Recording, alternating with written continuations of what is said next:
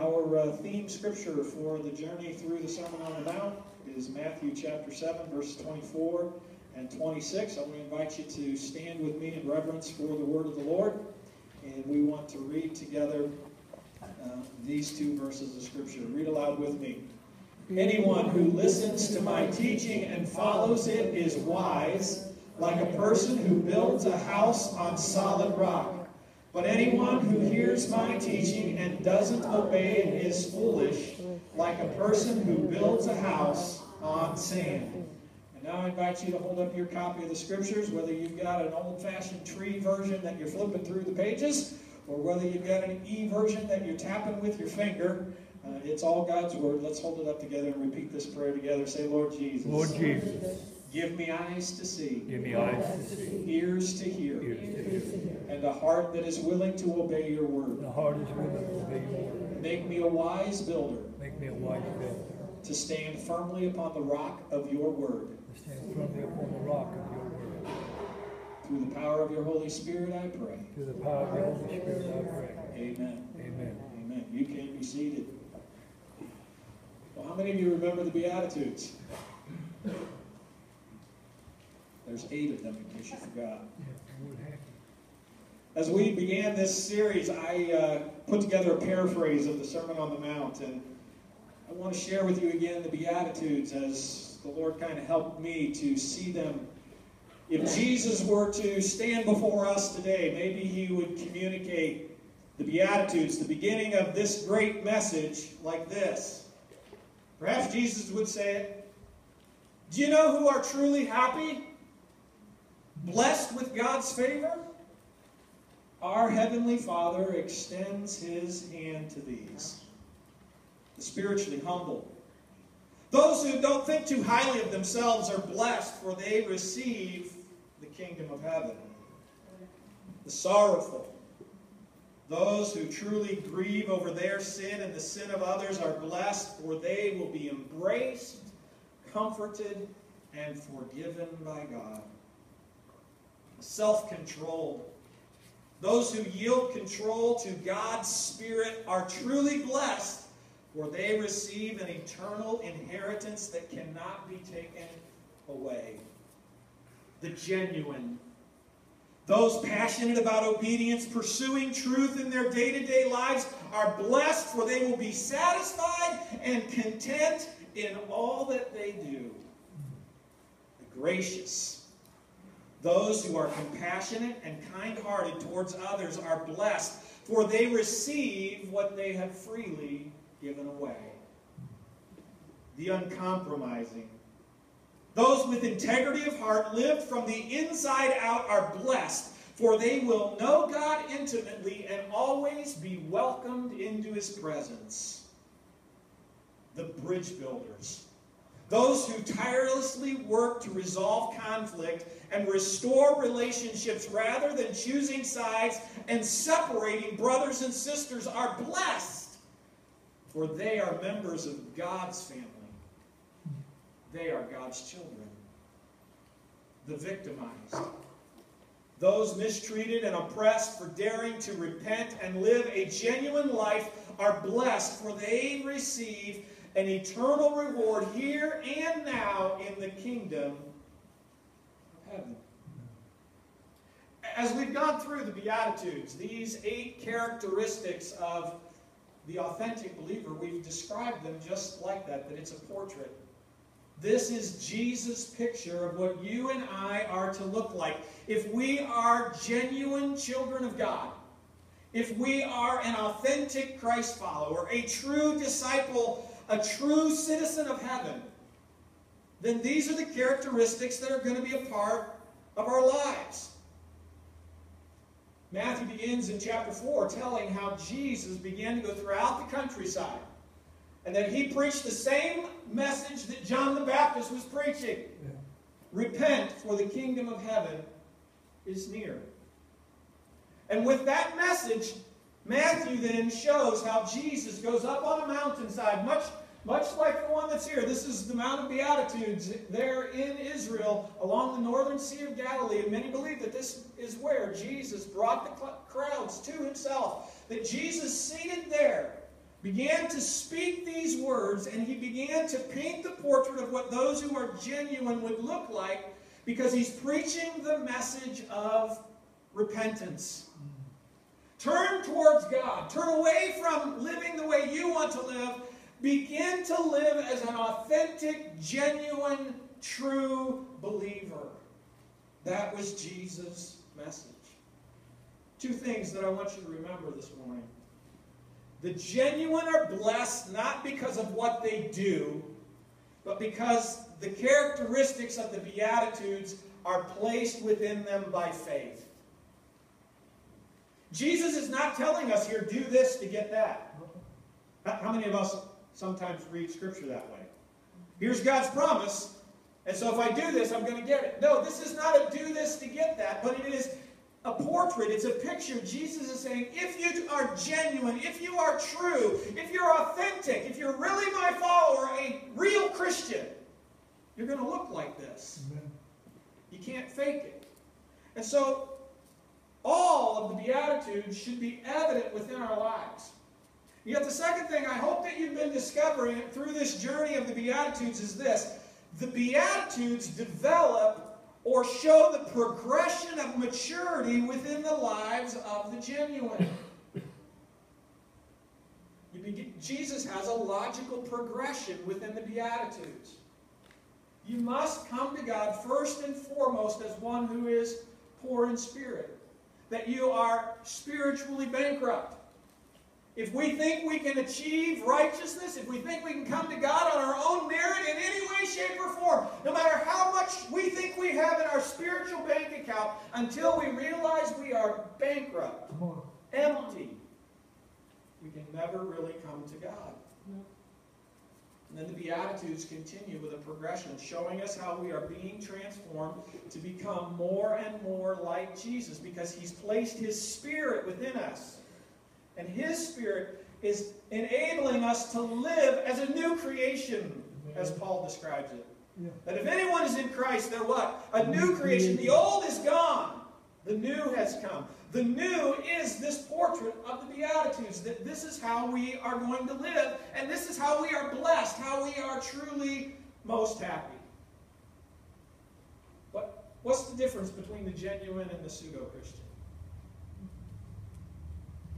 Got to talk with Katy this week, and she shared with me some of her experiences as she was there in Indonesia for uh, a good portion of this summer.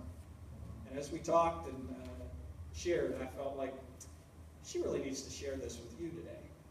And so Katy's going to come and she's going to share some of her experiences that she had uh, as she uh, experienced her personal walk with Christ there in Indonesia, what that looked like for her, what she experienced as she shared with others, and uh, what she found in the hearts and lives of those who were followers of Jesus. So would you welcome Katy as she comes this morning? We're glad that she's a part of our church family. You want to stay down there? Okay, well, I'll let you do that. Yeah, I'm going to stay down here because, I don't know, I just feel awkward up there. um, I like being down here personal and I can feel like I can look into your eyes more easily. So, um, so yeah, oh yeah, there's a picture. Um, I went to Indonesia for two months this summer, and um, to sum it up in a few short words, it completely changed my life, just like I thought it would and more. Um, this is actually a picture um, from an island called Sumba, and in this picture there are middle school and high school kids that I had the pleasure of um, working with and discipling for a week, and I got to teach them English, and they were just some of the coolest kids. Um, so, uh, Indonesia. First of all, um, I want to say uh, thank you for all of those who were praying for all of those who gave your missions dollars into um, this opportunity for me and for people in Indonesia to hear the gospel. Um, you are a blessing, and I'm sure that um, you will be blessed through that, and I know the kingdom is growing through that sacrifice that you've made. So thank you so much for um, just for your prayers and for your giving. Um, I really appreciate it. But um, as I talk about Indonesia, First, um, I want to ask, is anyone like a numbers person? like you, I know that like Sean and Pearl and Kelly should all be like, yeah, raising their hands because they teach math. But is anyone here like, yeah, I like numbers, I like statistics, I do the finances in like my home or most of the finances, or yeah, I'm, i just understand numbers, I get it. Okay, I saw some hands. Um, I'm not. math. I just, I don't, I don't get it. But sometimes it really is um, a good perspective for me to hear some statistics about, you know, certain cultures or certain people groups, or even just like, I don't know, people have statistics for like baseball. I don't know, sometimes that helps me, even though I watch baseball maybe once, one game a year. But um, yeah, it's good to know statistics. So um, the percentage, here's a statistic for you, the percentage um, among religions in Indonesia, to give you a perspective, um, the country is 86% Muslim, um, which is a big percentage. That's kind of um, near the percentage of what most Americans would call themselves Christian here. So it's a little um, diverse in that way. And then in Indonesia, there are 86% Muslim and 7% Christians. So 7% of people in Indonesia say they're Christians. And that's kind of um, a little bit of a challenge for me to think of myself as living in that kind of country if I were that much of the minority. You know what I mean? Like here, I feel like I could go to the grocery store and I could start, you know, talking about Jesus to someone, and then they're quick to say, oh yeah, I'm a believer too. Like that's actually very common if you're outward in your faith in public. Like a lot of people will say, oh yeah, me too, I'm a Christian. A lot of people here are just, you know, open about saying, I'm Christian. Whether they really, they really are a follower of Jesus or not, many people would say they're Christian. So being in a nation where most people are very outward in saying, I'm a Muslim, it was very, very different for me. A very, very vulnerable place. Um, so some of you might be asking, like, I don't really understand what Islam is. Like, um, and I didn't either until I was, you know, just surrounded by it. Um, some basic principles of Islam is um, that it is a very legalistic religion. So people are brought up into this religion where they are taught that they have to, um, these are literal things, they have to clean themselves before they even pray. Before they even approach God, they literally have to go to this basin filled with water and they have to put water on themselves and just cover themselves with water and clean themselves before they can even go into a prayer room to pray to God. And um, not only that, but they have to face a certain direction. Um, there's certain times of the day that are designated for prayer. Um, they have to uh, they have to wear certain things. A lot of the women have to wear head coverings. Some of the men wear uh, these caps, and it's just very legalistic. And in order to seek access to God, you have to do these things. There's absolutely no other way. So um, it's actually a very heartbreaking religion to be around just to see these people who are in such bondage of knowing like I will never fulfill all the aspects of the law, but I'm going to do it because it's all that I know how to do. Um, so yeah, uh, anyway, that's some background about Islam for you, just to give you kind of a basis. Um, but what my team and I were doing in Indonesia, there was about a team of um, me and like four other interns. Uh, most of our ministry was just going out into college campuses and praying over the campus. And uh, it's not like Ohio where it's like Kent and there's just one university in Kent. We were in a city where there were 70 universities, 70, 70 universities. So we had a lot of options to go and pray at different places. Um, and we would go and pray over the campus, just, you know, that God would set these people free from, uh, you know, the, the, the bonds of legalistic religion and that we would pray that you know God would give them a vision of who He truly is and how He can set them free. But not only would we pray over the campus, we would make an, a big effort to go and just sit with people and talk to them about Jesus and share our testimonies and ask them about their lives and build relationships with them. So through this, uh, I don't know, meet and greet um, venture that we did through prayer walking, uh, the amazing thing is I've done like a lot of the calculations and I've counted the phone numbers that we received through doing this, and we were able to share the gospel and our testimonies with 300 college students in a span of two months. And I still think back to that, and I'm like, God, how in the world did that happen? Like, I don't even, re- I didn't even realize at the time that that's how many people heard the gospel, and now I'm just rejoicing over it.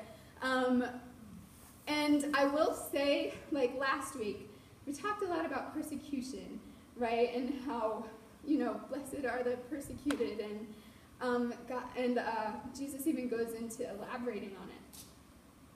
And I will say I, I have not experienced persecution before in my life, um, like I did in Indonesia. And it wasn't necessarily like um, I was abused or, you know, you know, stuff that happens in really radical parts of the world. This is a very peaceful nation, but we would go up to people, and it felt like every day we would have someone or some group of people just laugh in our faces and walk away when we told them about Jesus. I remember my, my one friend, Miguel, who was an intern from Texas, he went up to this group of guys and he was talking to them, and um, they ended up thinking he was really cool because he was uh, a bule, which means uh, like a, a, foreigner in um, Indonesian. So they get really excited when foreigners come and are talking to them. They thought Miguel was so cool. And then Miguel was like, oh yeah, so, you know, let me tell you about uh, Jesus and what he's done for me. And they straight up just laughed in his face as soon as they heard the word Jesus.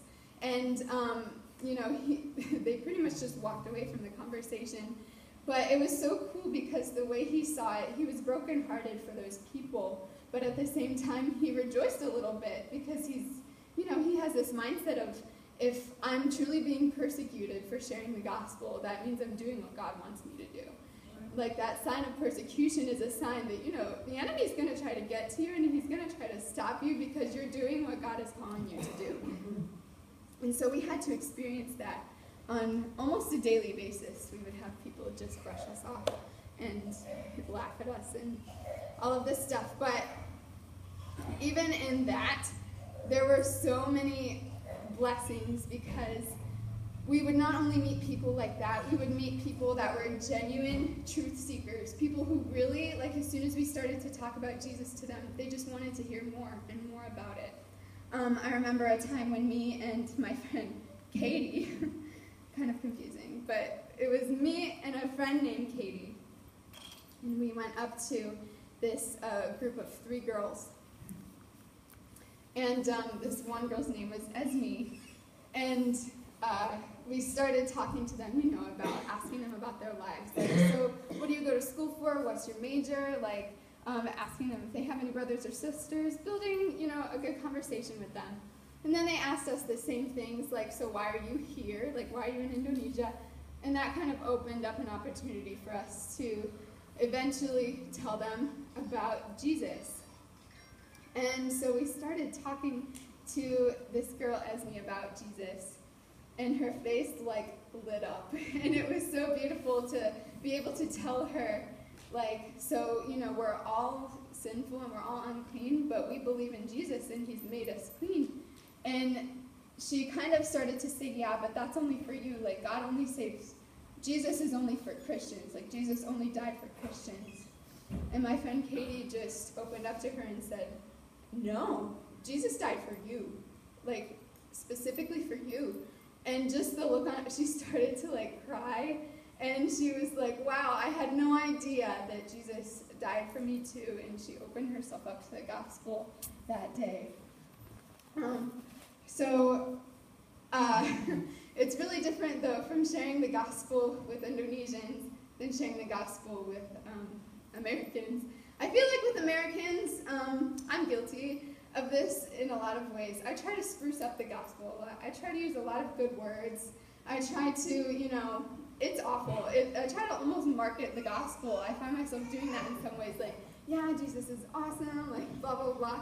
But literally talking to Indonesians, they have limited, a limited amount of English language knowledge. So sharing the gospel with them is literally just telling them a story in the most simple terms you can, in the most concise way.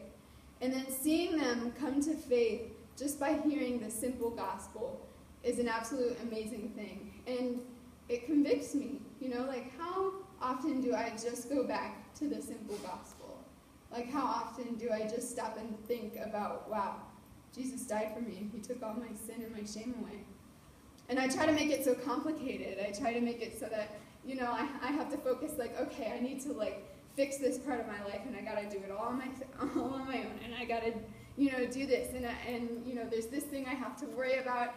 And I always get so frustrated and I forget to just go back to the simple gospel, the very thing that brought me into faith, the very thing that Jesus saved me by.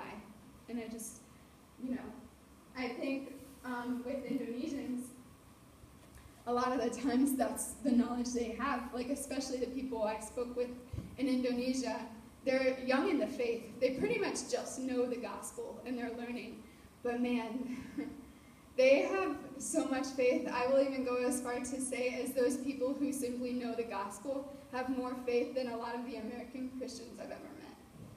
Because they are, they know that past of trying to please God by doing all of these rules and laws, and they know how binding that is, and they know how frustrating that is, and they know that they hate having to wash themselves before they pray. They hate having to uh, fast because of stupid reasons that I will tell you about in a few minutes.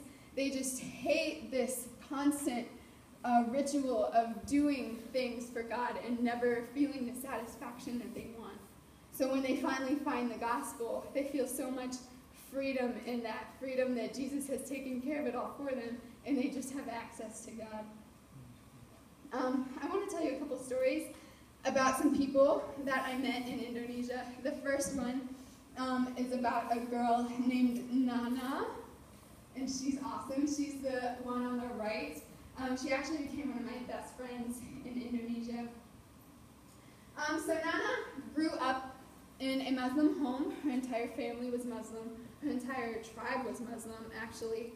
Um, but she came to know Jesus when she was, uh, I believe she said, like a young teenager, 13 or 14. And that was because someone had told her mother the gospel, and her mother believed in Jesus, and her mother taught her about Jesus. So she came into the faith. And uh, so she is a Christian. And in her early 20s, she entered this relationship um, with a guy who she thought really loved her, who she thought, you know, would take really good care of her. And for a while he did, and then he started to gradually get abusive towards her. And there were countless times where he would really beat her up and he would uh, rape her like countless times. And, and she was pretty much left with nothing but Jesus. He stole all of the money that um, she had, and he pretty much starved her. Um, and it was just a really rough life for her for a few years. Um, at one point, she ended up getting pregnant, and she gave birth to a son who is on the left there. He's so cute. Um, she sent me that picture this morning, and I was like, okay, I have to put that up there. Uh, but um, so she had this son, and she was still in this abusive relationship, and she felt like Jesus was just telling her, if you really love me, you will trust me enough to protect you, and you will get out of this relationship. And so she, as I said, she clung to the gospel, she clung to Jesus, and she believed in Jesus that he would protect her, and she ended up getting out of that relationship. And for a long time, she didn't hear anything from uh, her ex. She didn't hear from him. She was living with her parents. Things were going well for her and her son. Um, and then one day, her ex got a hold of her, I think by a phone call or something. And he told her, Nana, um, I really want to apologize for everything I've done for you. I've realized I've done so much wrong to you, and I've just been a horrible person to you. Please come over to my house and let me make you and our son dinner so I can apologize. And so she had so much forgiveness in her heart for this man. She, wow, I just, she's a big inspiration to me. She had so much forgiveness in her heart that she was like, okay, yeah, I'm happy to, you know, go and reconcile this. So she went over to his house and and she found out that he just was not what he was portraying to her. He, she found out that he wanted revenge over her. And in fact, um, I will tell you that in Indonesia, it's a very spiritually dark place. People practice a lot of witchcraft and a lot of spell casting and cursing. And so she went to his house that night, and this man um, placed curses on her, curses that she would be paralyzed and just curses that you would not even believe for her and her son, which was his son. And so he found out, like, wow, this isn't this isn't working. She's supposed to be really sick right now, or you know, something. Like he was learning that these powerful dark forces were not working on her. And then, so he said, okay, fine, I'm going to take this into my own hands. I'm going to poison her and the boy. So he placed poison in their food. And absolutely nothing happened to her and the boy because God was so powerful on her and protecting her so much. Wow, like, how awesome is Jesus, right? That he's able to give us a spirit of forgiveness in our heart, and then when we have that forgiveness for others, he protects us from schemes of the enemy, right? So, in all of Nana's story, there was some definite persecution going on there. And it was not persecution for something that she deserved. It was this uh, righteous persecution that Pastor was talking about persecution for someone being righteous. Because this woman was following Jesus, this woman was clinging to the gospel and clinging to Jesus. And yet, this guy did not like that about her. And so I wonder in today's America, like, I'm sure these kinds of things happen, but if that happened to me, like, how tempted would I be to just say, Jesus, this is not working out? Like, I've been wronged so much, and I've, you know, so much crap has happened to me. Like, that's really, this seems like a moment of truth to me, to discovering, like, am I a pseudo Christian or am I a true follower of Jesus? And in places like Indonesia, you can't afford to be a pseudo Christian. You might as well just be, you know, a Muslim or a Buddhist or something else because, you know, if you're a true Christian, you have to be strong in the faith or you'll just lose everything.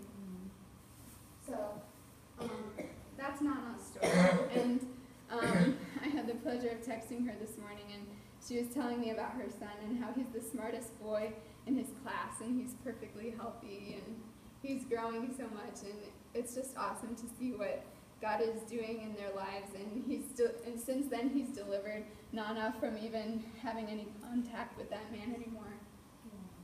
And so he's not, she's not in danger of that, and neither is her son. It's so awesome that even when we're in persecution, God just completely protects us if we're willing to surrender to Him everything.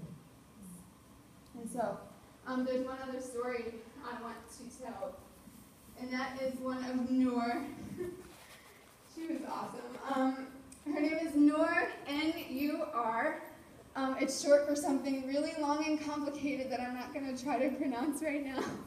Uh, but Nur is a delight. Um, we first met Nur in our prayer walking. That's how we met her. We met her through our prayer walking and going to meet people on the campuses. And uh, so she seemed uh, really enthused in uh, this English center that we have in the city. It's a center where people can come and learn English for free and practice their English. And so she was really excited about that. She said, okay, I'm going to go to that English center and practice English with some Americans. She was very excited about that. So I said, okay, I'll have, you know, an English hour with you, and we'll just sit and we'll talk and we'll practice English. Of course, in the back of my mind, I was like, I'm going to tell you about Jesus, but no, I didn't say that outright. Um, but anyway, so Nur comes in to the English Center one day, and I have this uh, English session with her. And, you know, she just opens up to me about her life. She tells me how many brothers and sisters she has and, you know, her favorite foods, her favorite colors, you know, all those basic things. And then she goes into telling me more about her past, more um, personal details. And I learned that she grew up in a Muslim family. And when she turned eight years old, her parents sent her off to um, an Islamic boarding school, which those are very bad places. Um, those are places where not all of the kids have a bed, and in order to have a bed, you have to race kids to get a bed. And the beds aren't really beds, they're just a piece of blanket on the floor. And the same thing with food. If you don't get to the food fast enough, then other kids eat all of the food before you. And you're pretty much brought up and trained to be uh, a Muslim. I won't say a radical Muslim, but a very dedicated Muslim. You're taught all of the laws and you're trained in them. And so I learned that not only did Nur go to an Islamic boarding school, but she is now a student at an Islamic university studying Islamic law. and when I heard that, I pretty much thought to myself, this is the most Muslim girl I have probably ever met in my life. She's such a peaceful and soft-spoken girl, but I know that she knows the Quran like front to back, like perfectly. This is just what she knows. This is probably the majority of what she knows is Islamic law. And so I end up finding out all of this stuff about her. And I was able to open up to her and share my testimony about what Jesus has done for me. And um, the gospel as well. And I, at the end of our conversation, I said, Nur, um, I really want to get to know you more. When you say we like hang out a couple times a week or something? And she was like, sure, that sounds awesome. I, I definitely want to keep hanging out with you. But at this time, it was the holiday of Ramadan. And if you don't know what Ramadan is, it's, a it's an Islamic holiday where um, Muslims fast from dawn to dusk. So when the sun goes down, they don't eat, or when the sun comes up, they don't eat until the sun goes down. So they don't eat lunch, basically, or snack throughout the day. And so I was trying, so she said, yeah, let's hang out, but I was trying to think like, okay, how can we hang out around the time of Ramadan? I can't like have lunch with her, maybe I could have a late dinner with her. And then she just says something to me that kind of blew me away for a second. She, and I kind of really didn't expect it. She pretty much, she told me, she's like, I can have lunch with you sometimes this, sometime this week because I'm on my menstrual cycle. And I was like, what? this girl, I just met her and she's opening up to me about her lady business. Um, and so I had to ask her, like, so you, you, you don't fast when, when that's happening? And she's like, oh no, no woman does that because if, you know, if there's any kind of blood being poured out, then, you know, we're technically unclean and that goes for any person. Like if someone has a bleeding injury, then they cannot fast or pray to God. Or if somebody is sick, they cannot fast or pray to God. So if anyone is going through any of these things, they have zero access to God. And as she was telling me this, I almost cried. And so, and she was like, um, so you act really surprised. Like, isn't that the same for um, people who follow Jesus? And I just had to tell her, no, it's totally different. Like, let me tell you about what Jesus has done. And I laid out the gospel for her again, and uh, her face like lit up, and she uh, seemed really thrilled about, thrilled and confused. It's hard for Muslims to get the concept of pure forgiveness, but at the same time, they love the idea of it. They love the idea that, you know, if Jesus lived this perfect life and he was the sacrifice my not so good life, then I don't have to do all these rituals anymore to have access to him. And so I hung out with Nora a couple times, and then one night she came to our uh, Christian worship service and Bible study. She just showed up. And this is a big deal because if Muslims are seen going to Christian worship services and Bible studies by if other Muslims see them, they will be completely ridiculed um, maybe even their like safety will be in danger. Uh, so this was a big deal that she stepped out and was just so desirable to know more about Jesus that she came to our Bible study. And I went up to her and I said, So, Nora, um, I'm so happy you're here, and I'm also kind of surprised. And she said, I will never forget her saying this. She was like, You said so many good things about Jesus that I want to know more. And so, dang it, I'm gonna start crying. I told myself I'm gonna cry. Um, but it's just so awesome. Like, I almost had so many doubts. Like, this girl for 28 years has been brought up in training to be a Muslim, and just in two months I had with her, she kept growing, and I kept having conversations with her about Jesus. And I saw her heart open up so much to the gospel. And I had so many doubts like, Jesus, I don't know if I'm going to see this girl make any change. I mean, I'm only here for two months, and she's been trained to be a Muslim for 28 years. Like, and now I'm so repentant of having those doubts because I've seen Jesus open her heart so much. And I've seen the power of the, just this simple gospel that brings people to Christ that saves. And I feel so awful for letting myself get so caught up in like, I have to know this theology, and I have to know this theology, and I have to know about this old law and all of the um, specifics of it. Because no, the simple part of following Jesus is just going back to the gospel every minute of every day. And when I see these Indonesians and what they've been through and the faith that they have just in knowing the gospel, man, that's convicting to me. So, um, that's pretty much all I have to share. I hope, um, I don't know, I hope this is giving you some kind of perspective also into the Beatitudes. Like, when I think of Nur, I think of the one that says, Blessed are, are those who hunger and thirst for righteousness, because she's a true truth seeker. If like if she just wants to follow whoever God is, if Jesus gave her a vision of who she was, I know she would drop every single Islamic thing she ever knew and just follow him because she hunger and thirst for righteousness and she's a truth seeker. All because she is starting to believe in the gospel, just the gospel.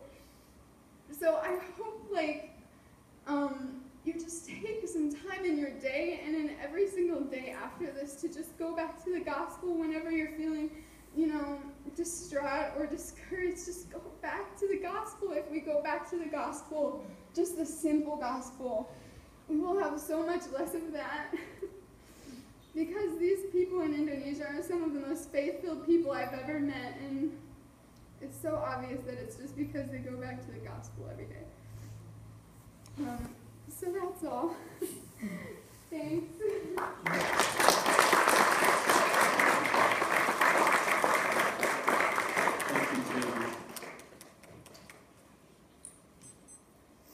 What's it mean for you and me to be a follower of Jesus? What's it mean for us to come to the realization that God so loved the world that he gave his one and only Son, that if we will believe on him, we will have everlasting life. When we come to faith, when we acknowledge Jesus, this transformation takes place within us so that we can be one who is genuine, a genuine child of God, an authentic follower of Christ, a true citizen of heaven. That's what Jesus wants us to be, and the Beatitudes become evident within our life. I want us to just real quickly consider the dangers that are before us as American Christians, the traps that are there. Jesus said, Blessed are the poor in spirit, for theirs is the kingdom of heaven.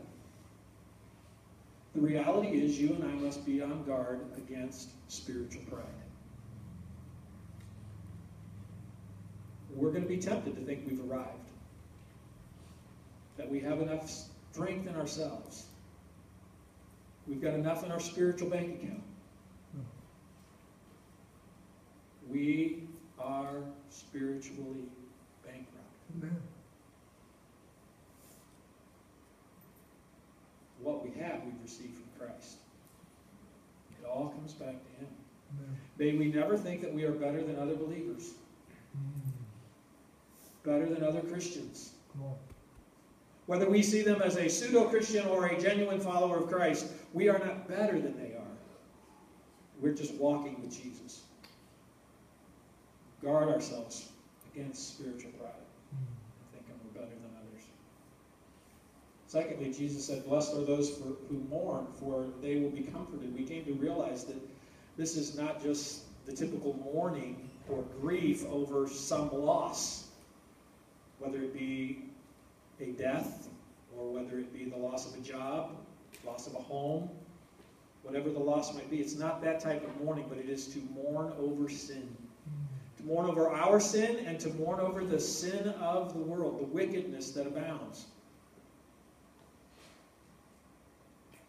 Those who mourn, the genuine, have to be on guard against becoming insensitive.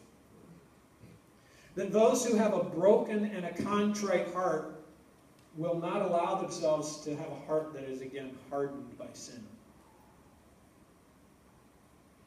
Jeremiah put it this way the heart is deceitfully wicked above all things. Who can know it? May we always have that humility before God, that spiritual poverty that says, Lord, examine my heart. Don't let that pride be there. Don't let my heart become hard to my own sin or the sin that is in the world.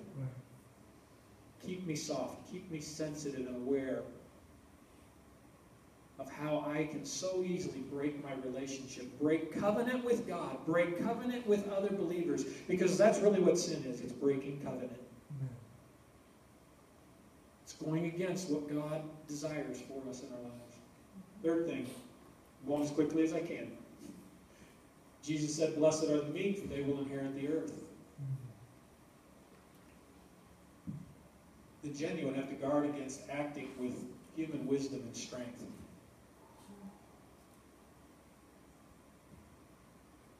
Katy spent a month in Germany, I think it was, before she went to Indonesia. And they were being trained and instructed in how that they can do that. But more than the training, I know too, they spent some time in prayer. They, they had to become sensitive to the Holy Spirit. They had to be aware of God's voice leading them, guiding them, and directing them in every conversation. Because if they responded in human wisdom with their own strength and their own understanding, if they if they went in a direction they thought they should go and it wasn't the direction God was leading them, they can find themselves in a heap of trouble really fast. Right. And so the meek surrender their strength, surrender control to God in all their ways. And yet, when spiritual pride comes into our life, I mean, that's the, that, that, that's the basis right there. When we begin to think we know something. We'll begin to act in our own strength and our own understanding and our own knowledge, our own power instead of God's. We must guard against responding and acting according to what we think is best, but always trust God.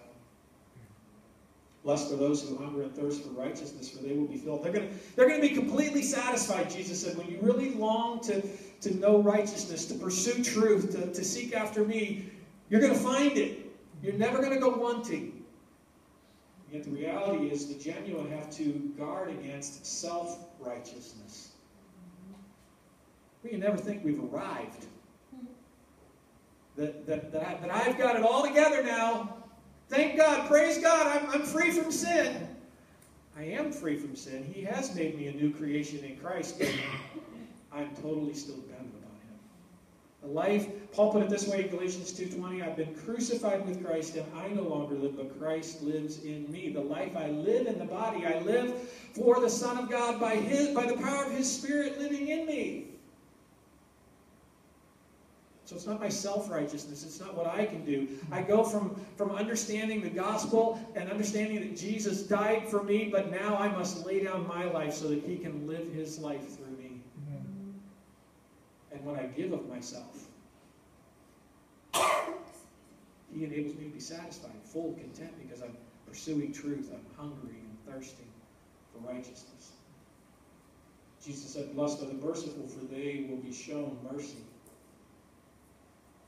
Forgive as you have been forgiven. Yeah. And yet the reality is we have to guard against becoming judgmental, Mm. having a critical spirit, holding on to bitterness and resentment. May we not judge one another but may we always be filled with mercy.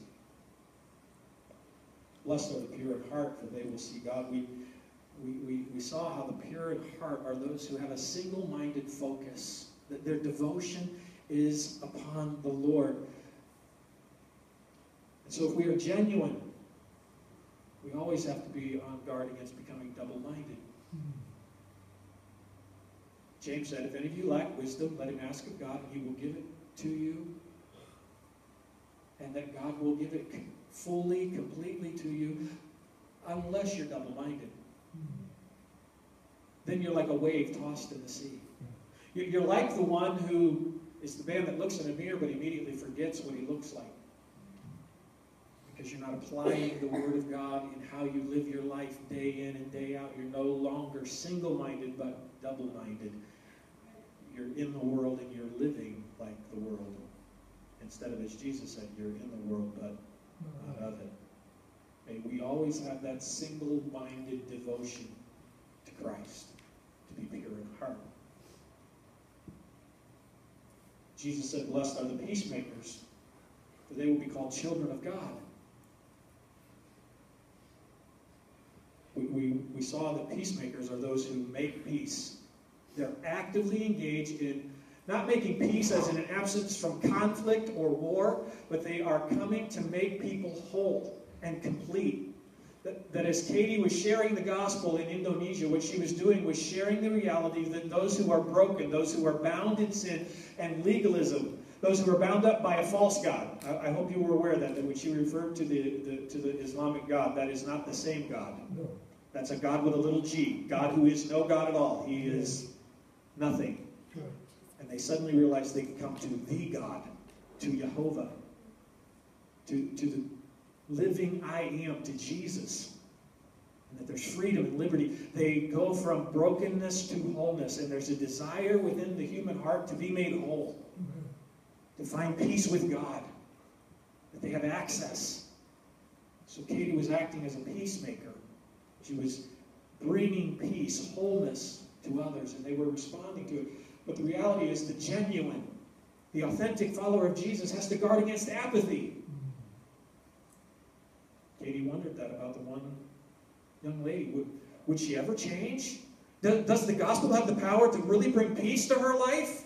She, she, she knows more about the Quran than I know about the Bible. Maybe she had that thought. I don't want to put words in her mouth, but, but she was so well educated. Yet the gospel is not without power. May we not have our hearts grow cold. We should never, never give up. If you have a husband or a wife or a son or a daughter that's not following Jesus, their life is incomplete. Their life is broken. Continue to pray. Continue to believe. Never, never give up. Don't become apathetic, but make peace. When you see conflict, when you see differences amongst uh, fellow believers, don't give up and throw your hands in the air, but, but pursue peace. Pursue wholeness in our relationships so that we are united in all things.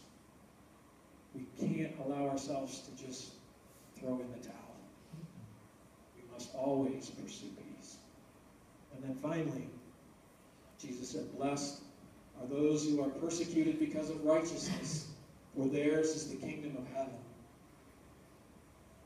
Katy expressed it when she was talking about it was Nunu, right? No. Nana. Almost like Nana. Here's a young lady who's experiencing persecution like you and I will have, have never experienced. To have people cursing you, mm-hmm. wanting to poison you, take your life, to harm you, because you want to be a follower of Jesus. Yet she didn't despair. She didn't give up. She wasn't filled with regret. But she rejoiced that she could participate, as the scripture says, in the sufferings of Jesus. And so the genuine have to guard against discontentment. Why me, God? Woe is me, God. I, I've suffered so much. We've not suffered like Jesus. And that's why the disciples, when they were being persecuted, when they were being thrown in prison, as James was uh, killed with the sword, as Stephen was stoned, they could rejoice that they shared in the sufferings of Jesus because he said, if they persecuted me, they're going to mistreat you too. If they hated me, they're going to hate you. So we can never let ourselves give in to resentment. We must always rejoice because our name is written in the Lamb's Book of Life. And so as we conclude today, as we as we think about the things that Katy shared from her experience there in Indonesia and as she was able to share the gospel with people and, and, and see those things, what might the Holy Spirit say to us today? Four questions for you to think about. First is really the most important. Have you personally responded to the gospel? That you are a genuine child of God, that you are an authentic Christ follower, that you are a true citizen of heaven, that you have responded to the message of repentance because you know you're bankrupt before God. You, you are poor in spirit. It's only those who are poor in spirit that can respond to the message. Because as long as you continue to think you have any merit of yourself, it will keep you from coming to God.